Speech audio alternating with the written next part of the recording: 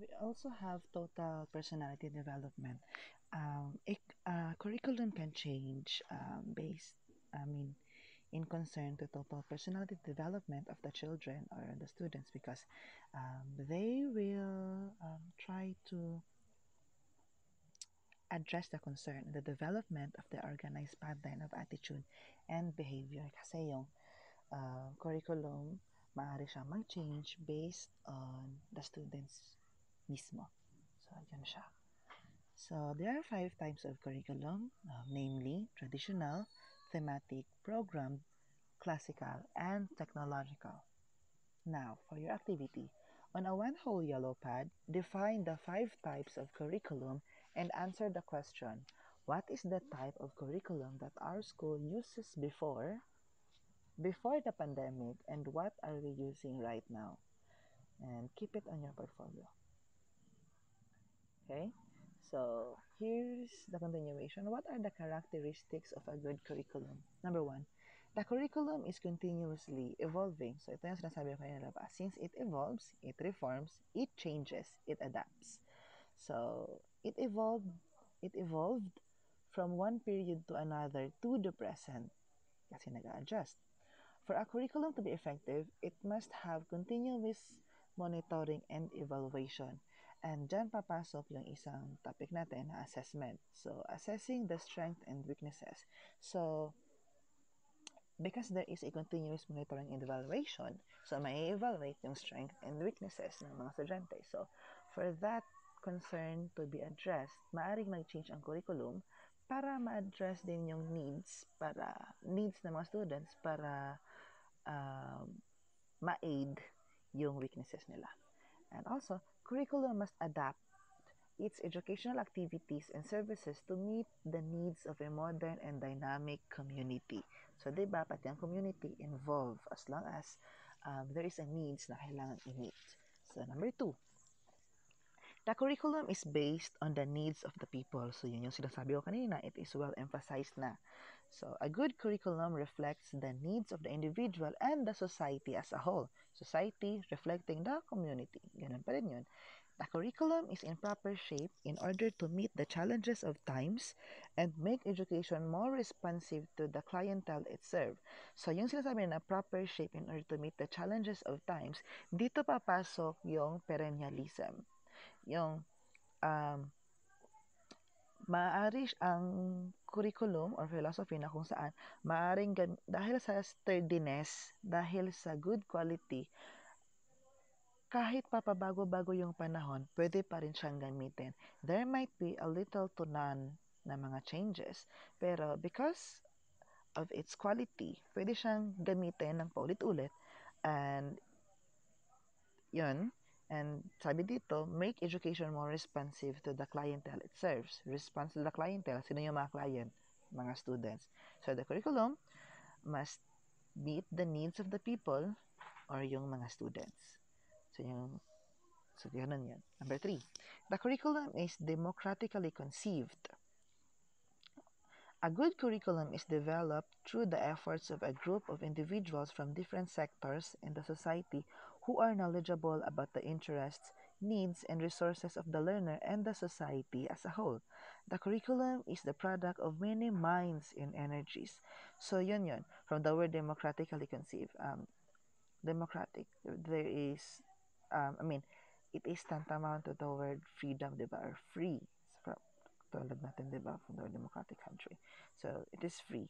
Um, so, there is a free will kung saan it can be changed, uh, curriculum, it can be changed, it can be um, used, it can be recycled, pwedeng gamitin yung old curriculum, pwedeng magkaroon ng new curriculum, pwede rin magkaroon ng new curriculum. Pero hindi lang siya um, ginagawa ng isa kasi maaaring mag uh, maaaring mag-contribute yung iba as the as nakasaad dito as stated here um, the curriculum is the product of many minds and energies. So, yun yun. Number four, the curriculum is the result of a long-term effort. So, dito pala, from the word long-term effort, so ibig sabihin, hindi minamadali yung curriculum. A good curriculum is a product of long and tedious process, sabi ko kanina. It takes a long period of time in the planning, management, evaluation, and development of a good curriculum. It should be made carefully, slowly, but surely. Number five, the curriculum is a complex of details. Really, it is really complex. A good curriculum provides the proper instructional equipment and meeting places that are often most conducive to learning. So, ang curriculum hindi lang siya uh, concerning about the students mismo, pati kasi nga 'di ba, pati sa environment.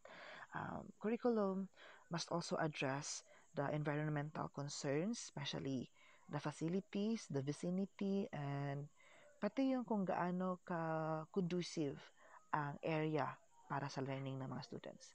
It includes the student-teacher relationship. So, a good environment, diba, is a harmonious relationship between teacher and the student.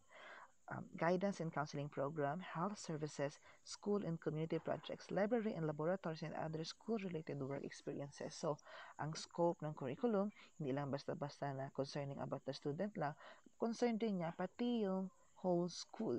I mean, um, kung kaya mag-reform ng curriculum based on the student needs, kaya din mag-reform ng curriculum based on the needs of the school. So, yun siya. Number six, the curriculum provides for the logical sequence of subject matter. Learning is developmental. So, para siyang spiral, you will be learning 1, 2, and 3. You will learn first 1, and then you'll proceed to 2, and then you'll proceed to 3, from simple to complex. Classes and activities should be planned. Kaya nga, kung sa teacher pa, mayroong lesson plan. A good curriculum provides continuity of experiences. Continuous siya. So, from 1, proceed ka sa 2, proceed ka sa 3, proceed ka sa 4. Uh, from simple to basic, uh, from simple to basic, from simple to complex. Pero pagdating sa point na complex, with your learning, that complex will become simple. So you will soar more and you will explore more you will explore more to find the more complex matters. So, yun. Number seven, the curriculum complements and cooperates with other programs of the community. The curriculum is responsive to the needs of the community. The school offers its assistance in the improvement and the real and realization of ongoing programs of the community.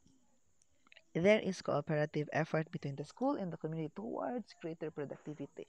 Ang thought lang dito is ang curriculum na nasa school, pwede rin um, isabay yung activities outside the school, sa barangay or sa community. Halimbawa, sa curriculum, maaari kang maglagay doon na tree planting para sa care of the environment and also to develop social, um, I mean, the concern of the students sa environment and also helping the community din para maging yung literal na purpose ng trees maging malamig the oxygen so science. Number seven the curriculum has educational quality. Dapat quality over quantity. Always again. And then uh, a good educational quality um, is a product of a good curriculum. So Quality education comes through the situation of the individual's intellectual and creative capacities for social welfare and development. The curriculum helps the learner to become the best that he can possibly be. The curriculum support system is secured to augment existing sources for its efficient and effective implementation.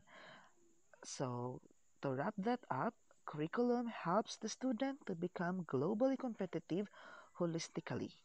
Yan yun. Number nine, the curriculum has administrative flexibility to which a good curriculum must be ready to incorporate changes whenever necessary. Whenever necessary, kung kailan kinakailangan. The curriculum is open to revision and development to meet the demand, demands of globalization and the digital age. So yun, pero yun kanina. Curriculum as a changing concept.